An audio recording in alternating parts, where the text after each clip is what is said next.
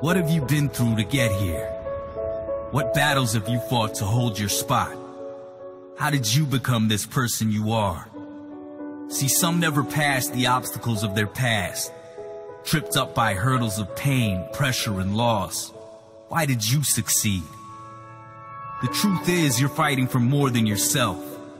You're battling for those who haven't made that next step and can't realize it's right in front of them. Because when you're alone, it's harder to see your own greatness.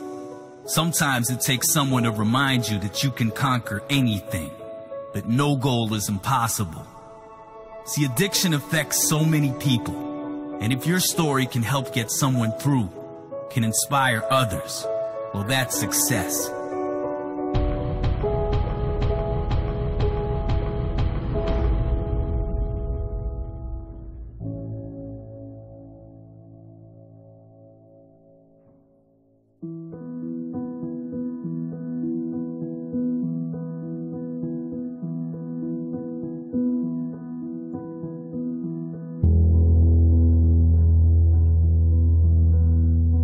Back, but as Dwane Casey always says, home won't take care of you, you got to take care of home.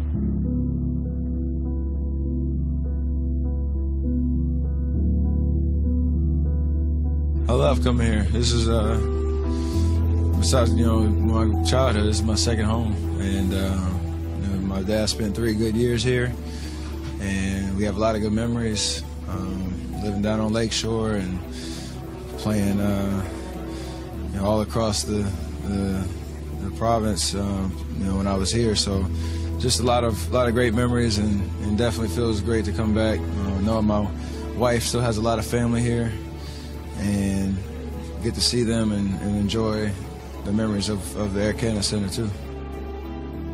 I never thought, obviously, that uh, you know he played NBA, much less be that, that this good. But it all kind of started right here. You know, this is uh, he, he, when I played in Toronto my last few years. He, um, it's kind of where he was an age to really f- see what was happening and then you know figure out what was going on, and then from just to, to have that work ethic and that desire to, to want to play at this level, and um, you see the success he's having. It's a father's dream come true, um, and I'll never get tired of talking about it. I remember him being a great kid, 12, 13. You know, he wasn't an average 12 or 13 year old. You know, he really had his head on right. And uh, he would be out here before the game shooting. And, you know, just like you see people around right now, you know, it would um, he would be out there shooting like right before the game when all the fellas go in and knocking down NBA threes and having the crowd wild at that age. And I think this has kind of been his playground, you know, for uh, since he was a kid. My son Andy was always like every chance I, I got to bring him up here, he was always hanging around. Steph was always around, so my kind of me- my memory of Steph kind of includes my own son always shooting around before games, and you know those guys you couldn't get them off the floor. That, that was the funny part. You'd have all these NBA players that are getting ready for the game, and there these kids are on the floor shooting, and Steph was just bang bang. It's just very natural, very fluid. You could see right away that there was a there was uh, you know that something that you just can't put your finger on it. And and ima- I always think to be a great player, you got to have imagination. And if you watch Steph by himself, he's always doing like there, he's playing. He's, he's got this game going on in his head. That to me said, you know, this kid's got something. I think all great players have a love affair with the sport. They just love being in the gym. They love bouncing the ball. They love shooting the ball. They love being around the game. They love being around players and coaches and refs and the energy in the building. Uh, so he had that. He grew up in a very uh, competitive, uh, driven, disciplined house, and uh, yet with people that were very, very grounded and, and great parents and a great family. So uh, just I couldn't be happy for him because uh, you know knowing Dell and having got to know the, the, boys a little bit when they were little, uh, it's just nice to see. It's it's, it's a really cool story. Hearing mentioned in the NBA MVP talk, it's uh, kind of surreal. You know, my wife and I are still pinching each other, saying, "Hey, this is our son." That uh, you know, little Steph that grew up, but uh, grown man now with a wife and a family, and uh, he's made me a granddad, so life's good. Golden State comes away with a 113-89 victory tonight. And Steph Curry tonight with 22 points.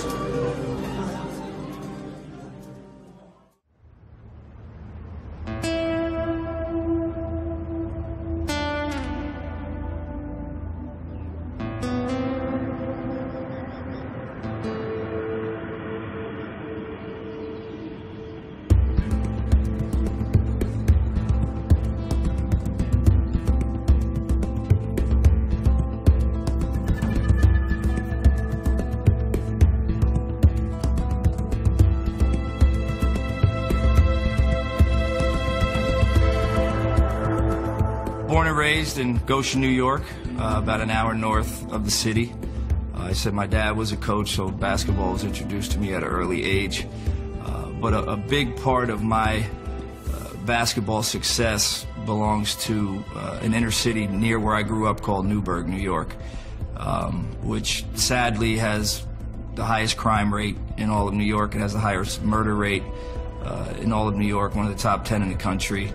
Um, but that's where I knew the best basketball was, and I, you know, uh, had a met a couple friends that brought me in there um, into the inner city to play, and, and, that's really where I learned so much about basketball and so much about life.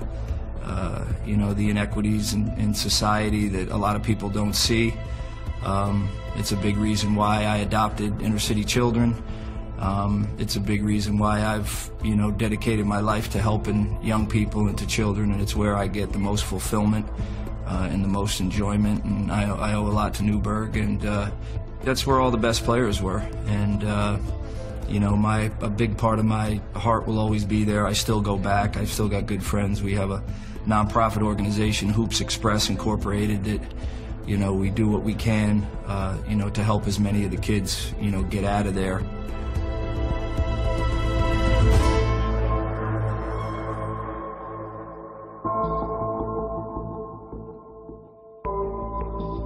So I played for my dad at John S. Burke Catholic High School in Goshen, New York, um, and shot it any time I wanted to. No. but no, my dad was tough on me, and he was tougher on me than the other kids, which I think was a good thing. It, it helped me in my development. I went from there to UMass, University of Massachusetts in Amherst on a scholarship. I played there two years. Uh, the coach that recruited me got fired and I ended up transferring to Sacred Heart University in Bridgeport, Connecticut uh, for the next three years. I sat out a year. I uh, was lucky enough to become a Division II All-American. Um, tried out with the Knicks, uh, did not make the team, and decided to, to my path was going to be coaching. On the baseline, Amundsen. Spinning past Amir Johnson. Wow, look at that move there from Lou Amundsen. The Raptors have got to try and claw out of this one. Valanciunas leading in on Amundsen, spinning towards the baseline, and he buries the one-hander. JV right back at you. I'd worked the five-star camp, which was also a huge uh, tool in my development as a young coach. We had just phenomenal coaches, Calipari, Pitino, Hubie Brown. I mean, the list goes on and on. Mike Fratello, Chuck Daly. Um, it was a who's who of great players, but also great coaches that back then they could work the camps. PJ saw me working and coaching there, Carlesimo, so I, I, he offered me a job as a graduate assistant at Seton Hall. I spent a year there with him. Then I was offered the same position at the University of Kansas with Larry Brown, which John Calipari had a big hand in. I went out to work the Kansas camp in the summer because John coached there. Uh, then I became a full-time assistant coach at Charleston Southern University, a, a lower Division One school in Charleston, South Carolina. And then John Calipari got the head coaching job at UMass. So uh, it was kind of a reunion. And I knew UMass was a sleeping giant. You know, he had called me during his interview and said, What do you think? I said, Take it. You know, we can build something special there. And we went from one of the 10 worst programs in the country to number one in the country for a good part of our last three or four years there. Had some great players, Marcus Camby, Lou Roe. Uh, had a lot of success. And then I was uh, fortunate enough to become the head coach at UNLV uh, coached there for the better part of six years, and uh, we had some good success there. It was a learning experience. I was 32. Um, you know, we ended up winning four conference championships, two regular season and two tournament. We went to the, went to the NCAA's twice. Um, and then from there, I went to uh, coached a little bit in the ABA, which was kind of a floundering league. Uh, we didn't have any money, and I went overseas, coached in the Philippines, coached in Puerto Rico, Came back, coached in the CBA with the Yakima Sun Kings, uh, and then uh, got a chance through Kevin Pritchard to get in the NBA and Nate McMillan with the Portland Trailblazers. I think each coach uh, you learn something different from. Everybody's different. And I, I, think the one thing I learned early on is that you have to be yourself. So you take bits and pieces, and I think all good coaches have done that. You know, uh, you, you, you, know, I took certain things from Larry, certain things from Coach Cal. The year I was at Kansas, Gregg Popovich spent the year with us there, and Pop and I were close, and I had a lot of conversations with Pop as a young young guy, picking his brain about life in, in you know and basketball. Um, so you know you pick and choose different things. You try to mold that around your personality. You know, obviously communication is huge. You know, being able to communicate with your players, being able to gain their trust. Uh, and it's something you have to earn, you know, by working hard, by letting them know you care about them, uh, by putting them first. Um, you know, the, the work ethic, you know, and then there's all the different X's and O's. Every coach has a different style. Uh, you know, obviously I was with John for the longest time, Calipari at UMass, and uh, you know, just he, that's where I got my basis for coaching.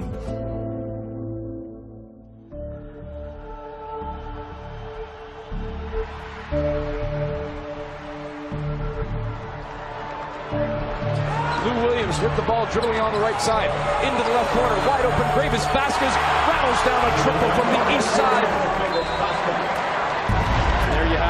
It. Leo Galdich coming down Main Street. Kicks it to Galloway. The triple up. And it rattles down. That's a killer.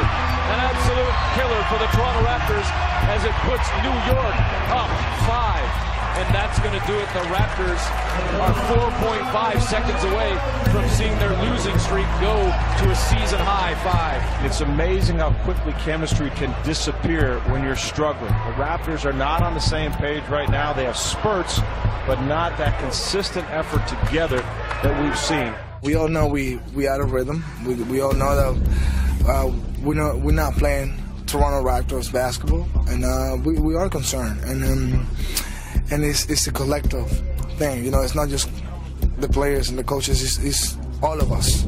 It's, it's, time for us to, to be a man and, and, face the situation. You know, this is when you find out who is who. So I think we got a pretty solid and together team. So now we got to show what we made of.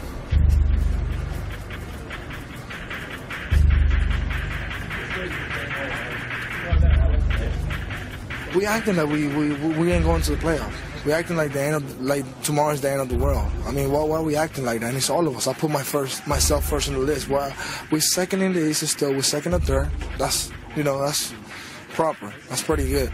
We we beat some good teams. Five teams up from the West, and then they were good good wins for us. So we we've proven that we can do it. So it's up to us. You know, we, we can we can't feel sorry for ourselves. We can't point fingers. We can't do anything else but come out on Monday and be pissed off about it and trying to get a win somehow, some way, whether it's by one. I don't care. We, we need this win on Monday.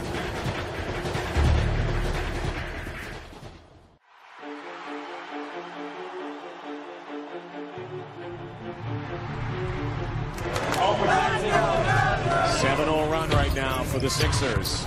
DeRozan, little fadeaway pull up at the free throw line, knocks that down. Under four to go here in this first quarter. DeRozan's feeling it right now. Bingo. Sampson now kicks it back out. Noel decides to hammer it home. Jonas a spin. Gets it back out. And DeRozan back out to Patterson. Good ball movement this time. Patterson knocks it down. Sixers shooting exceptionally well tonight. 54%. They got 28 points in the paint. So Lou Williams doing the work. The man is one of the masters at drawing fouls.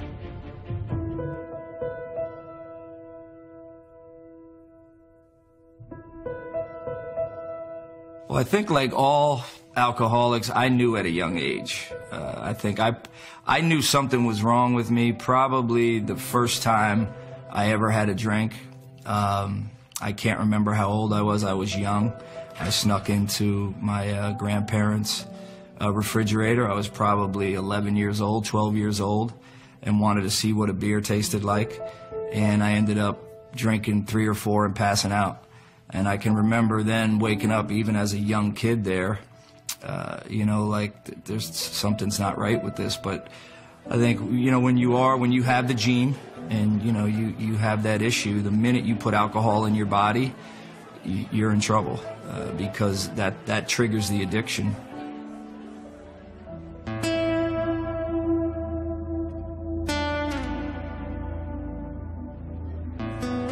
as a head coach, that's where I really used it as a crutch. As a player, it definitely affected. You know, I was able to become an All American, but I, I really think I could have played in the NBA if I wasn't battling that. And, you know, I can remember playing most of my games hungover, you know, and, and, and drinking so much the night before. And uh, uh, another great story, ironically, I'm the head coach at LMU, and the Inglewood High School coach, who I knew, Pat Roy, who coached Paul Pierce, asked me to come speak at his sports banquet. And so I, I said, yeah, sure. I came to speak, and there was an older gentleman there that came up to me and said, hey, you don't remember me, but I was the assistant coach on Mario Elie team at American International College. We played you in the NCAA Division II uh, Final Eight to go to the Final Four. And we, he said, I remember you the night before the game. You were at the hotel bar. And I was there, and all our boosters were buying you drinks, trying to get you drunk. And you kept accepting the drinks. I said, Yeah, I remember it like it was yesterday. And I said, In my mind, I was going to get drunk and prove to you that it didn't matter and we could beat you. And, you know, so, it, but at the time, you know, when, if you're an alcoholic, you have a tolerance. So I didn't go crazy that night. I probably had 10 drinks, if that doesn't sound crazy. that was a mild night for me. And I'm looking over there cheering them. Yeah, okay, I'm still going to whoop your butt tomorrow. And as it turned out, we did. We beat them, and I was, you know, the MVP of the game. I made eight free throws down the stretch. Uh, we went on to lose to Manute Bol uh, the next game.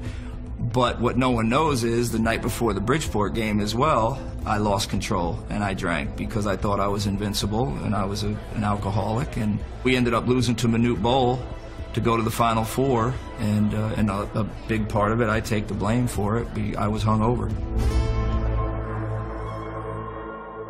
You know, I always throw the day out, December 23rd, 1999.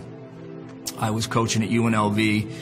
We were having a, a pretty good year. A, a, big game was coming up against Eddie Sutton in Oklahoma State, and I really thought we had a chance to win it. And we lost a heartbreaker.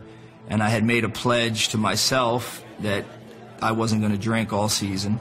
And we had a three day break.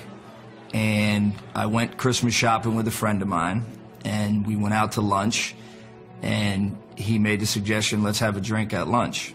And I had one drink, and the next thing I remember, it was five o'clock in the morning, and I was just getting home. I don't remember how I got home.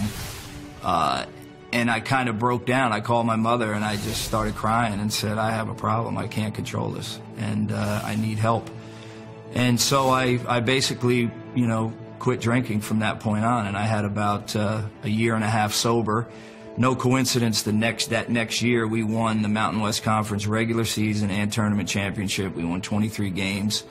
Um, but because of a, a, big part of my issue at UNLV with me being fired was my off-season lifestyle. You know, I didn't drink, rarely drank during the season, but college is a 12, 12 month a year job. And, uh, so that caught up to me. I ended up getting fired and, uh, I went on a little four month uh, runner, lost control again, and was actually coaching in the Philippines. And that's when I decided to get professional help, and I got a psychologist, and we started, you know, working together. And, and, and that was the, the turning point where I just knew that something bad was going to happen. And, and alcohol and drugs had put me in so many bad positions. I was very lucky, uh, you know, that something terrible didn't happen to me you know, when you don't have control and you're you have that issue, you know, you you put yourself in tough spots.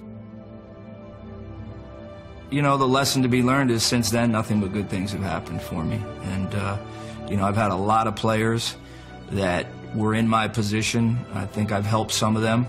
Uh, but again, you know, ultimately it falls on the individual. You, you know, they, you, there's only so much you can do trying to help. But I do think my experiences have helped a lot of my players uh, that have had similar issues. And, and when you've gone through it, you can talk to them. And the minute you, you talk about your own experiences, if they do have an issue, you connect because they hear, they see you in the stories that you tell. And so they know you're not BSing them. And, and, uh, and so I'm, I'm always willing to try to help anybody. Uh, I tell my story.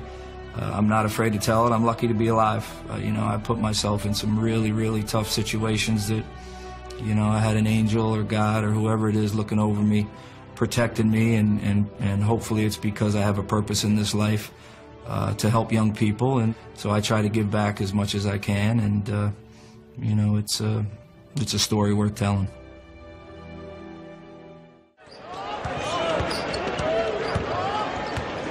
James Johnson backing down Mbah a Moute. Turnover here. Steal from the Sixers. Canaan has it blocked by Johnson.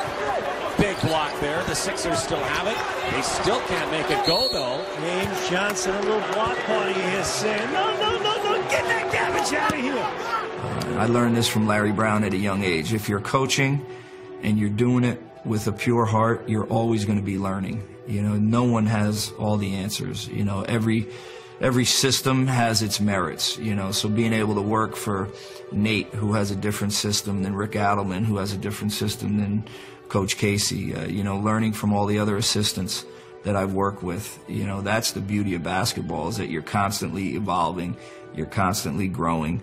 Uh, if you love the game, you know, and the game will love you back, and that's something that I try to preach to all our players that you know, if you love the game and you respect the game, the game's going to love you back. You're going to make a lot of money. You're going to have a great life.